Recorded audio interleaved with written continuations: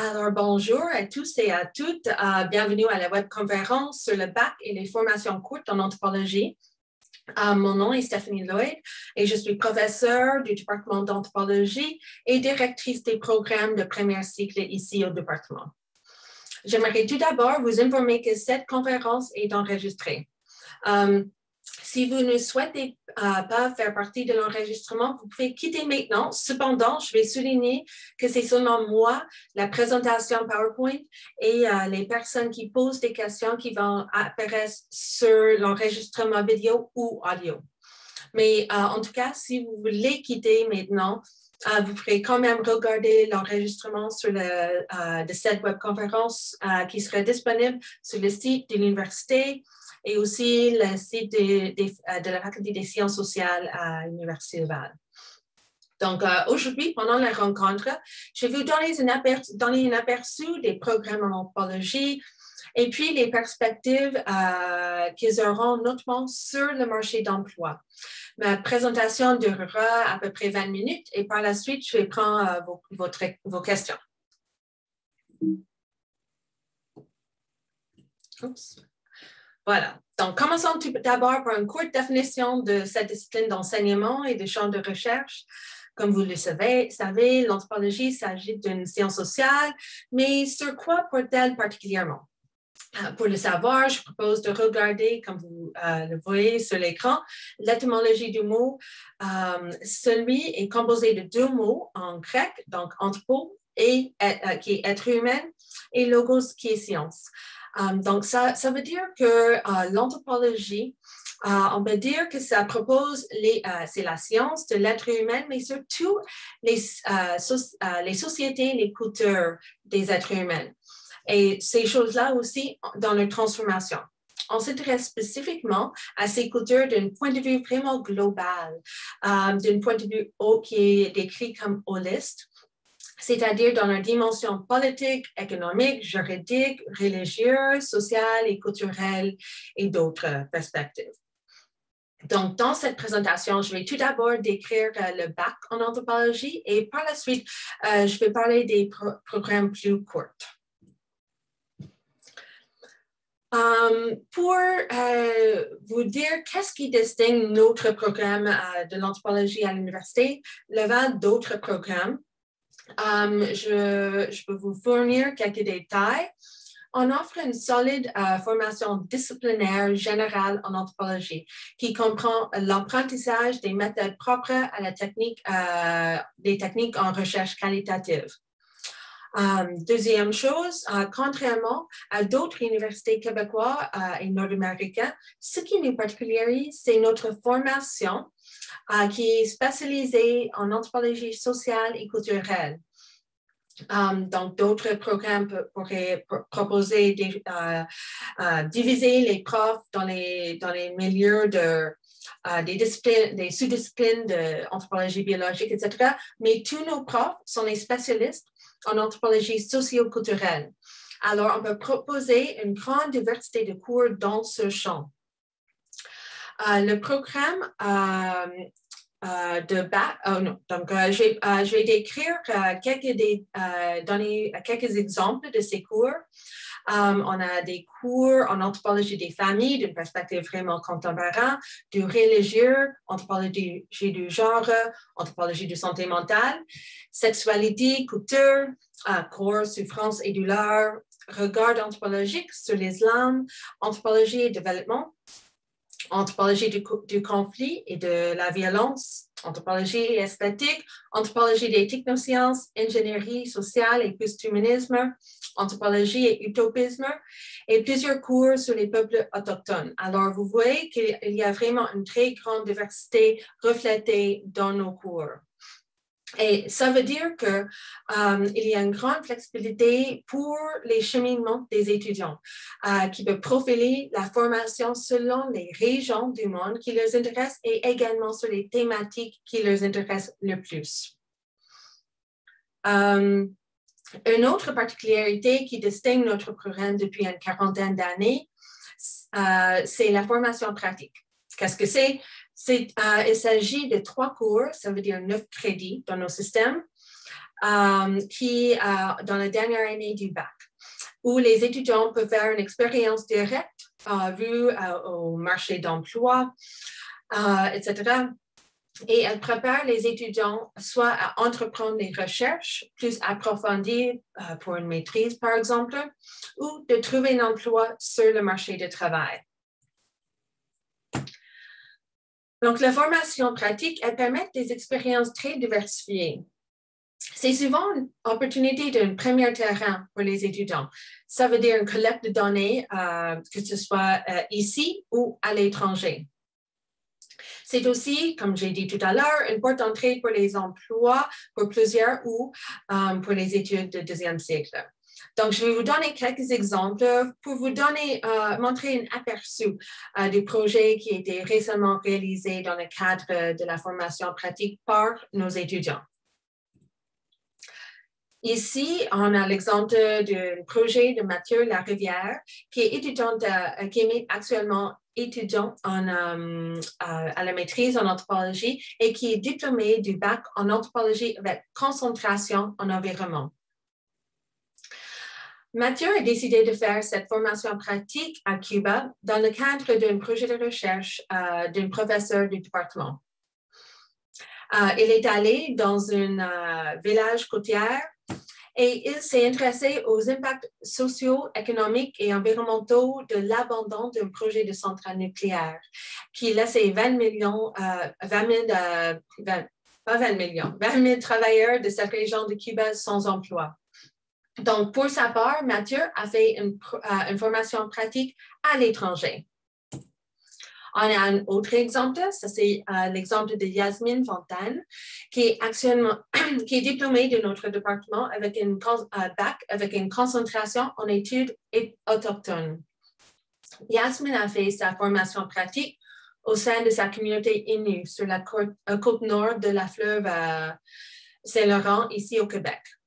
Elle a participé dans le cadre de sa formation pratique à un projet sur l'aménagement et la protection d'un site patrimoine innu. Un autre exemple, euh, je passe vite, euh, euh, Stéphanie Dumouchel, qui est aujourd'hui diplômée au, bac en anthropologie.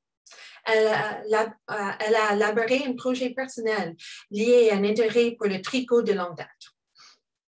Stéphanie est allée dans l'archipel euh, des Shetland à l'Écosse sous la supervision toujours d'un euh, prof, toujours, même si c'était un projet euh, qu'elle a développé elle-même. Et elle s'est intéressée au rôle des femmes dans l'activité économique des Shetland, ainsi qu'aux techniques de tricot traditionnelles. Dans le cadre de sa formation pratique, elle a rencontré les artisans et les personnes impliquées dans l'élevage des moutons euh, et finalement, elle a également euh, réussi des recherches dans plusieurs musées en Écosse et à, Londres. On la voit ici pendant ses recherches au musée. Enfin, un dernier exemple, et j'aurais pu les multiplier. Il y a euh, un tel nombre des projets divers et intéressants que nos étudiants font. Mais je vais terminer sur le projet de Benjamin Malo, qui est aujourd'hui étudiant doctoral en anthropologie. Euh, mais il est également aujourd'hui professionnel de recherche au CHU. Ça, ça veut dire, euh, comme vous voyez sur l'écran, le Centre de recherche, euh, Centre hospitalier universitaire de Québec. Pendant sa formation pratique, Benjamin a été situé à l'Institut national de, santé publique du Québec, donc à l'INSPQ. Donc, pour les personnes qui sont ici au Québec, ont entendu parler souvent pendant ces temps-ci, pendant la pandémie, elle était, était impliquée dans un projet visant à comprendre les attitudes et les comportements relatifs à la vaccination. Vous voyez que c'est un domaine à la fine pointe de l'actualité. Et Benjamin, sa formation pratique a ouvert des perspectives d'emploi très intéressantes. Euh, elle a d'abord été d'abord, euh, suite à la formation pratique, recrutée comme auxiliaire euh, de recherche à l'INSPQ. Et aujourd'hui, comme je l'ai mentionné, il est professionnel de recherche au CHU de Québec, dans un domaine euh, qui est celui de sa formation pratique. Donc, Euh, très souvent, la formation pratique, elle ouvre à des possibilités d'emploi. Elle permet de développer des expériences variées qui sont marquantes et qui permettent de renforcer euh, les habiletés professionnelles et qui permettent donc de s'insérer tranquillement sur le marché du travail. Euh, pour passer aux, concentrations, un autre élément dans notre bac en anthropologie, euh, vous m'avez entendu dire à propos de Mathieu qu'il était inscrit au bac en, anthropologie avec concentration en environnement. Et Yasmine, qui était, euh, était inscrit au bac avec concentration en études autochtones. Donc, ce sont les options intéressantes qui nous offrent dans le cadre du bac en anthropologie. Ça veut dire un cheminement avec concentration. Elles permettent de se spécialiser dans une champ d'études particulière, donc euh, que ce soit l'environnement ou les études autochtones. Ce n'est pas obligatoire, euh, mais c'est une option euh, que vous pouvez faire valoir auprès des employeurs, par exemple. Et ça consiste pendant le bac à suivre un ou deux, ou deux cours obligatoires dans le domaine de la concentration Um, et aussi, pour les cours complémentaires, ça veut dire 9 à 12 crédits à des cours complémentaires. Ils sont suivis dans d'autres disciplines, mais dans le domaine euh, de la concentration. C'est la même chose pour la formation pratique pour ces personnes. Dans le cheminement avec concentration, les formations pratiques sont situées dans le domaine de la concentration. Donc, c'est une option très intéressante pour vraiment avoir euh, gradué avec une spécialisation assez, euh, assez pointue euh, pour, nos, pour nos étudiants. Donc, le bac euh, permet aussi euh, d'autres expériences qui préparent euh, les étudiants pour le marché du travail. Il y a la possibilité d'un stage rémunéré qui offre la possibilité de développer une, expérience de travail par un stage qui est également crédité. Donc, il est payé et crédité. ce stage peut être réalisé soit dans la fonction publique du Québec, soit à l'Assemblée nationale. C'est donc une autre option qui offre euh, l'expérience concrète pour renforcer, par exemple, les CV de nos étudiants. Une autre euh, euh, chose que notre programme offre, c'est le profil international c'est euh, la possibilité de la participation, euh, de, la possibilité de réaliser une session au complet dans une université partenaire du département à l'hiver de la deuxième année euh, du bac. Les étudiants qui font cette expérience de mobilité étudient dans une autre université et ils euh, se familiarisent avec une autre méthode d'enseignement, avec des cours qui sont complémentaires à ce qu'on offre ici et qui ont été spécialement euh, identifiés par euh, la, direction des programmes pour répondre aux besoins de nos étudiants. Le profil international offre également l'opportunité de mieux connaître notre culture, possiblement notre langue, etc. Donc, euh, quand on réalise cette mobilité, c'est inscrit sur euh, le diplôme. Alors, c'est donc une autre atout qu'on peut faire valoir par la suite. Um, comme vous pouvez voir sur l'écran, on a des ententes avec 17 universités dans 10 pays, notamment en France, d'outre-mer. Donc, vous avez l'Université de la Nouvelle-Calédonie, l'Université de la Polynésie française, en Océanie, etc. Bref, il y a une grande diversité d'universités où vous pouvez aller réaliser cette session. Je vous donne, euh, mais euh, une autre chose à souligner, euh, c'est que pendant la session de mobilité, les frais de scolarité sont payés à l'Université Laval. Quelle est l'importance de ça? Je vous donne un exemple. vous voulez aller étudier, par exemple, aux États-Unis, à Ohio State University ou à l'Université de Connecticut. Les frais de scolarité là-bas sont beaucoup plus élevés par, euh, des fois qu'ici, mais vous ne paierez pas ces frais. Vous, allez simplement payer les frais euh, de l'Université Laval. De plus, euh, pour les personnes qui sont inscrites au profil international, l'Université Laval vous donne une bourse de 3 000 pour réaliser cette session à l'étranger. Alors, c'est vraiment une possibilité très intéressante pour nos étudiants. D'autres possibilités qui n'apparaissent pas sur l'écran, mais qui sont quand même offertes, et les, incluent la possibilité de faire des échanges au Canada. On a des ententes avec l'Université d'Ottawa et avec l'Université de Regina au Saskatchewan. Dans ce cas, l'Université Laval, euh, pour les séjours de mobilité au Canada, offre une bourse de 2 000 pour appuyer euh, les étudiants. Pour poursuivre, l'université, euh, le département dispose également d'un laboratoire d'anthropologie visuelle. Ce laboratoire permet un prêt de matériel pour faire du tournage, pour faire des montages. Euh, ce sont des matériaux qui pourraient être euh, pourraient contribuer à la réalisation d'une certaine euh, dimension relative à une formation pratique ou encore pour les, les, travaux pour certains cours. Alors, ils sont des ressources qui sont très, très, très, très appréciées par nos étudiants. Um, donc, on a discuté le bac, um, mais sur l'écran maintenant, on voit tous nos programmes de premier cycle qui sont offerts dans le département d'anthropologie. Um, vous voyez que, oh, je crois que j'entends quelqu'un. Um, je vais prendre vos questions, mais à la fin. Um, donc, vous voyez, en plus que le bac, euh, il y a avec les options de concentration, on a vraiment en, études autochtones. On a aussi euh, euh, plusieurs possibilités pour les certificats les certificats sont les formations courtes de 10 euh, cours euh, ou 30 euh, crédits ou encore des micro-programmes. Les micro-programmes, pour leur part, c'est un total de 9 cours, 9 crédits ou 3 cours. donc, vous voyez sur l'écran, on a plusieurs offres. Il y a un certificat en, anthropologie sociale et culturelle, certificat en études autochtones, certificat sur la diversité culturelle.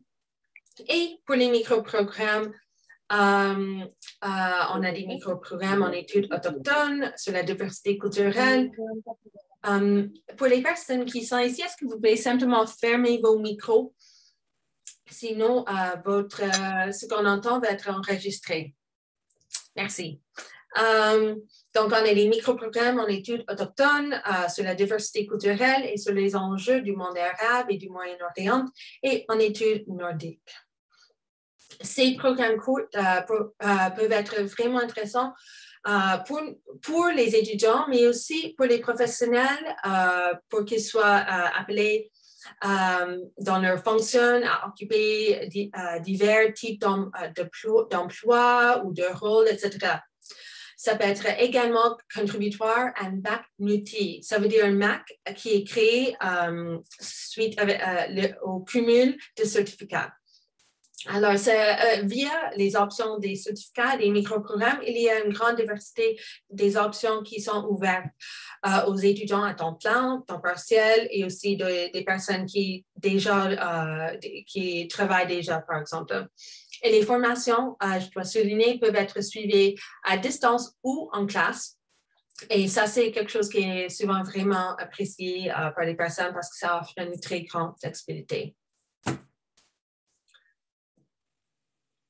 Donc, euh, en ce qui concerne les emplois, euh, la formation d'anthropologie ouvre à diverses possibilités d'emploi, que ce soit dans la fonction publique, dans les organismes communautaires, publics, euh, dans les organismes de développement international et d'autres organismes à l'international. Euh, les villes et les municipalités sont des employeurs euh, qui recherchent, euh, sont à la recherche souvent des anthropologues. Bien sûr, les organismes de recherche dans le domaine de la culture ou de la muséologie, ou également les établissements d'enseignement et les entreprises privées. Donc, il s'agit de quelques secteurs d'emploi où des anthropologues sont des employés recherchés pour offrir, par exemple, un service de collecte de données, un service de consultation d'une population, un service d'étude de, euh, réception ou euh, analyse de l'impact d'un programme. Euh, ça peut être un projet de développement ou même une analyse de l'expérience des consommateurs ou des usagers des jeux vidéo, par exemple. Alors, les anthropologues sont des professionnels polyvalents qui sont compétents euh, pour remplir diverses fonctions et occuper divers euh, types d'emplois. Ici, sur l'écran, vous avez quelques euh, titres de poste qui sont occupés par les anthropologues. il faut souligner que c'est rare qu'on voit dans les annonces anthropologues recherchés mais les anthropologues sont les candidats euh, qui ont beaucoup de succès sur les postes comme ceux que vous voyez sur l'écran. Euh, et maintenant, je vais euh, maintenant ou après la présentation, je vous invite à consulter notre site. si vous tapez sur l'Internet des emplois pour, pour, pour anthropologues plus Universel vous allez tomber sur une page de notre site web du département où vous avez plusieurs profils d'emploi de nos diplômés. Donc, vous avez des exemples très concrets des parcours, euh, des fonctions concrètes que nos étudiants euh, occupent aujourd'hui. Euh, et nos diplômés vous parlent de leur cheminement et comment leur formation en anthropologie a contribué à, à faire d'eux des employés compétents sur le marché du travail, des employés qui sont en fait recherchés. Donc, je vous invite à consulter cette page des emplois pour anthropologues euh, avec Université Laval vous allez voir un aperçu de la diversité des milieux d'emploi de nos diplômés. Je vais poursuivre avec euh, quelques mots sur euh, la vie étudiante dans notre département. Donc, être étudiant du département d'anthropologie ici Laval, c'est aussi prendre part d'une vie étudiante animée, très active. Les étudiants du département font euh, partie de l'Association des étudiantes et étudiants en anthropologie. Et cette association dispose d'une locale particulière qui s'appelle Anthropos et qui est très appréciée euh, par les étudiants comme espace où les étudiants peuvent euh, mener leurs activités, simplement pour avoir un espace où ils peuvent échanger. L'association a également un journal d'étudiants qui s'appelle le Potlatch Um, l'association également euh, organise de façon autonome ou avec euh, le département plusieurs activités intra- et extra-universitaires où on a euh, l'occasion de découvrir, oui, donc je pense, il y a notamment le fameux spectacle Entracte, le spectacle de la fin d'année, euh, qu'on a hâte retourner en, présentiel, où on a l'occasion de découvrir les talents qui se cachent souvent parmi nos euh, cohortes d'étudiants. Euh, donc, c'est toujours un moment, c'est un exemple d'un moment qui est toujours attendu par les étudiants et les profs participent activement à ces événements aussi. Donc, c'est une association avec laquelle on a beaucoup de plaisir à travailler. Elle est très dynamique et elle fera votre passage à l'Université Laval une, expérience qui est marquante. Passons euh, des étudiants vers les profs. Euh, je vous euh, présente très brièvement nos profs. vous voyez ici leur tête. je souligne que c'est une cour professionnelle très dynamique, impliquée en recherche impliqués dans leur milieu euh, et qui participent activement au débat contemporain euh, sur la société contemporaine. Ils sont soucieux et proches aux étudiants. Donc, euh, le travail de collaboration entre profs et étudiants est très étroit. Euh, ils sont également investis dans les terrains de recherche sur les cinq continents. Et donc, vous aurez euh, certainement des exemples de recherche à nourrir vos intérêts, puisque ce sont les profs qui sont passionnés à propos de leur, euh, leur propre recherche et partagent leurs résultats de ces recherches dans leurs cours pour offrir les options pour les étudiants, pour les formations pratiques, etc. Donc, voilà. Um, euh, c'est une vue d'ensemble de notre programme de bac et d'autres programmes courts de, notre euh, département d'anthropologie ici à Laval.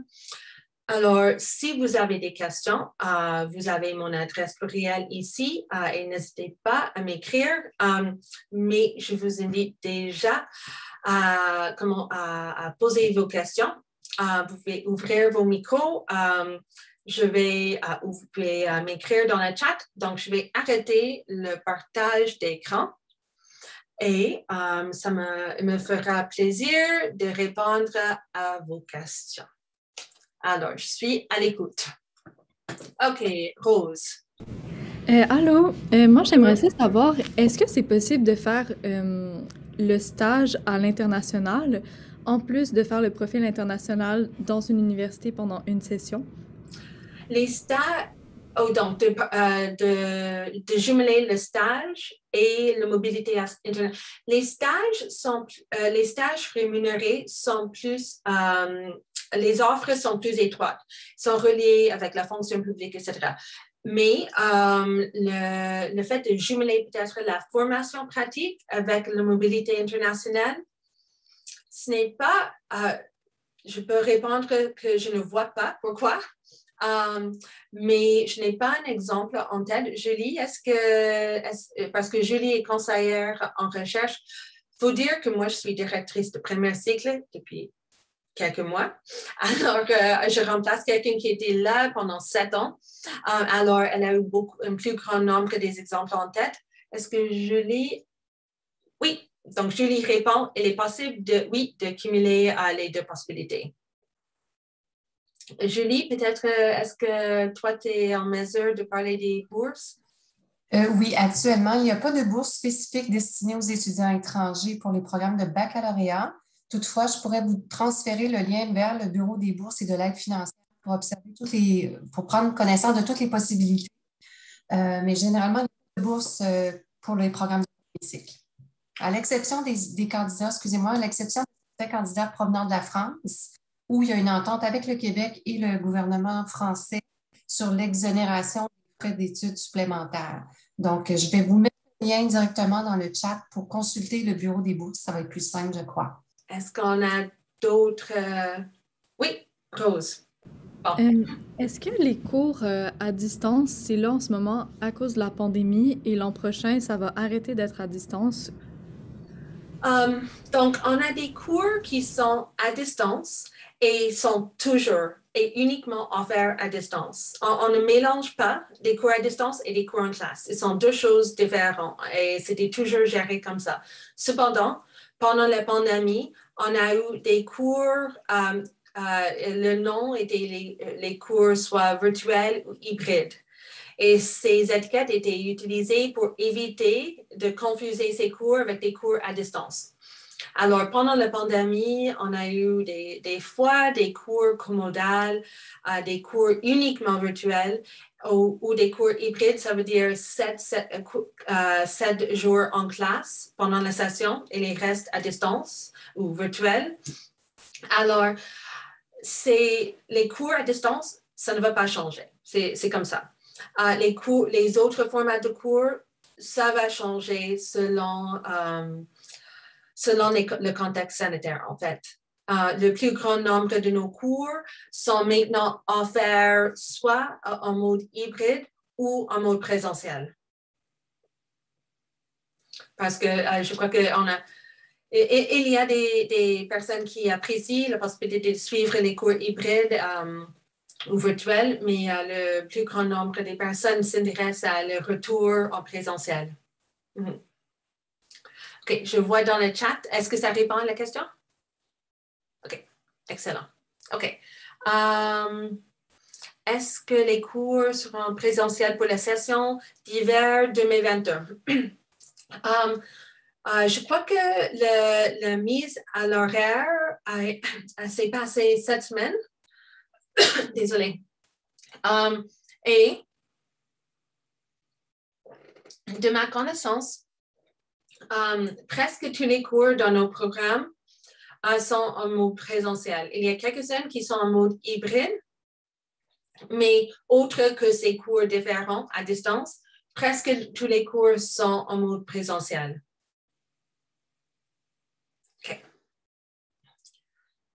D'autres questions? Vraiment, n'importe quelle question. Je suis, je suis ici, je suis complètement ouverte à, n'importe quel type de question. Ça peut être sur le profil du programme, le profil d'étudiants.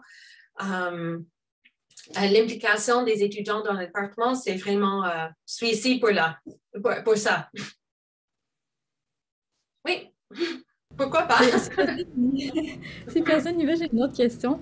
Euh, est-ce qu'il existe, ben, je ne sais pas, je n'ai juste pas regardé, mais est-ce qu'il existe un, double bac avec anthropologie et une autre discipline? Um, oui, um, OK, donc je lis l'information sur l'admission. Donc, pour avoir jumelé des choses, donc anthropologie est quelque chose, donc il y a, il y a toujours, en fait, pas l'option, mais la nécessité de prendre euh, 9, à, 9 à 12 crédits complémentaires. Donc, c'est obligatoire. Donc, déjà, il y a une vous avez ces 3 à 4 cours pour créer votre propre spécialisation. Euh, mais peut-être Julie peut répondre plus généralement sur, parce que Julie est spécialiste dans, dans la, règle, euh, la gestion des études. Donc, elle peut parler au-delà de notre propre programme ici en anthropologie. Oui, actuellement, le bac spécialisé en anthropologie n'est pas décomposable soit. Toutefois, vous pourriez compléter un bac multidisciplinaire, ce qui est composé de trois programmes de certificat euh, qui vous donneraient une opportunité de faire un, programme conjoint avec une autre faculté, par exemple. Euh, mais ça, c'est au cas par cas. Euh, donc, ça doit être géré à la base, mais le baccalauréat en anthropologie ne peut pas être jumelé avec un autre programme de baccalauréat pour l'instant. Puis par rapport à ça, je m'étais fait dire que c'était pas une bonne idée justement de faire un bac par cumul, justement parce que c'est comme moins valable auprès des employeurs. Mais je me dis en même temps que tu en, en semaine, t'es pas mal es pas mal obligé de faire une maîtrise puis d'aller plus loin. Donc si tu vas à la maîtrise ensuite puis que tu te spécialises, est-ce que ça reste une bonne idée ou tu arrives à la maîtrise puis là tu es moins spécialiste comme tu pas fait les trois ans comme d'autres personnes? Désolée, c'était une longue question. oui, non, non, c'est une très bonne question parce que, euh, oui, les, euh, les, discours par rapport aux spécialisations un peu multi euh, ne sont pas nécessairement contradictoires, mais c'est difficile nécessairement à comprendre quelle est la valeur. Parce que d'un côté, on, est informé que les employeurs veulent avoir des spécialisations multiples, la flexibilité des, travailleurs, de, de, leurs employés, par exemple, mais en même temps, on arrive des fois avec l'idée que, oh, mais ils cherchent également une spécialisation. Alors, on est confronté à ces deux choses. Alors, euh, je dirais que ça, dépend un peu. Peut-être que c'est mieux de commencer avec des études plus disciplinaires et si vous avez vraiment, euh, vous trouvez une autre discipline tellement stimulant que vous pouvez peut-être ajuster le parcours de vos études, de regarder cette option à ce point-là. Cependant, si vous voulez poursuivre les études de deuxième cycle, il serait possible avec, euh, si vous avez déjà des cours en anthropologie, euh, donc, euh, il y a la présentation d'Isabelle Henri-Endorcy de notre département à, 2, à 14 heures.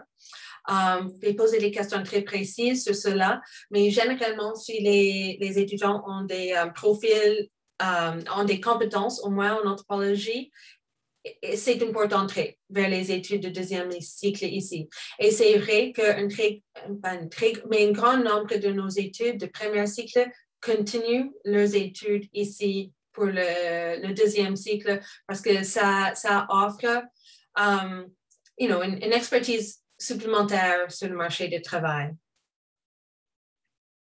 Mm-hmm. Et si on fait euh, justement un, bac euh, multi avec anthropologie, est-ce qu'on peut quand même faire un stage à l'international en anthropologie ou on n'a comme pas le temps? Um, mais on parle ici de la formation pratique parce que le, le stage n'est pas à l'international, c'est la formation pratique. Et la, la formation pratique elle-même, elle est neuf crédits. Alors, avec une division de trois certificats dans trois domaines différents, il pourrait être difficile euh, d'intégrer une formation pratique à l'intérieur de ça. Euh, peut-être que Julie peut ajouter des, informations complémentaires. Je sais que des fois, les étudiants décident de prendre les trois ans d'études et étirer ça sur quatre ans pour avoir plus d'opportunités, euh, etc. Mais, euh, je, laisse la parole à Julie. Oui, pour effectuer le profil international dans le cadre d'un bac multidisciplinaire, il faut obtenir l'autorisation du programme dans lequel on est inscrit au moment où on postule. Il y a eu des cas qui ont été acceptés, mais ce n'est pas dans pas tous les programmes qui offrent la, possibilité généralement. Donc, encore là, vu que c'est un bac multidisciplinaire et c'est un dossier, euh, c'est vraiment du cas par cas. Il y a des possibilités, mais il faut en discuter en amont. Il faut vraiment préparer son projet longtemps à l'avance, puisque ça peut, euh, il faut vraiment le, le parcours national à l'intérieur d'un certificat, lequel simplement une année. Tandis qu'un baccalauréat, c'est trois ans, donc on a le temps de voir venir préparer les acquis. Donc, c'est un, un, processus qui est complètement différent. Donc, euh, là-dessus, je vous inviterais vraiment à consulter l'équipe du bac multi si c'est si votre objectif pour en discuter plus, euh, de façon plus spécifique. Um, une question, quelles sont les possibilités d'hébergement? Alors, le, vous pouvez consulter le site Internet des résidences. Je vais vous le mettre dans le chat également. Donc, il y a plusieurs possibilités au niveau des résidences. Et sur le même site Internet, on fait des liens vers les résidences privées. Euh, donc, les, les appartements autour du campus où c'est possible de résider durant les études. Je vais vous mettre le lien.